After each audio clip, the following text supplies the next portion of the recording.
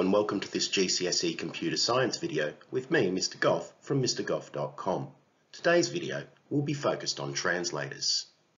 Translators convert assembly and high-level languages into machine code so that it can be executed. There are three types of translators you need to be aware of. Assemblers, interpreters, and compilers. Assemblers convert assembly code to machine code. This process is fairly simple because there's a one-to-one -one relationship between assembly instructions and machine code instructions. An interpreter is one of two choices to translate high-level code into machine code. It translates programs one line at a time and it stops if it encounters an error. To run interpreted code, you must have the interpreter installed on your machine. Interpreters take longer to execute because each line must be translated before it can be executed. Compilers translate an entire program at once.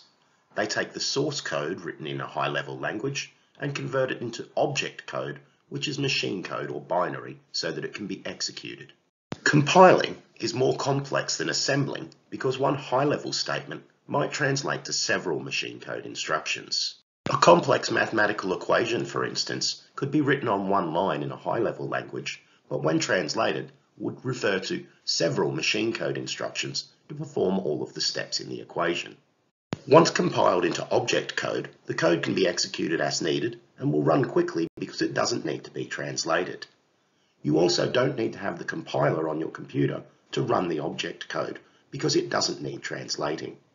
Because different processors have different instruction sets, a program compiled for one type of computer would have to be recompiled for a different processor.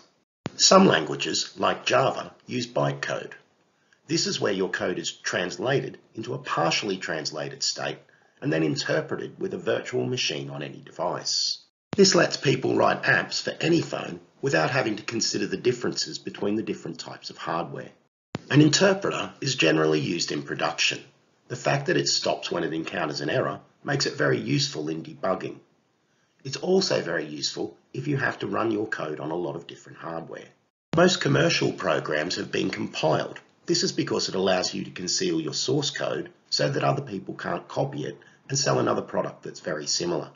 Once compiled, object code will run much faster than assembly code because the assembly code still needs to be translated line by line. That brings us to the end of this video on translators. Join me again for the next video when we'll be looking at parts of the CPU. If you haven't already done so, try mrgoff.com for free revision resources to help you study computer science. Until next time, it's bye for now.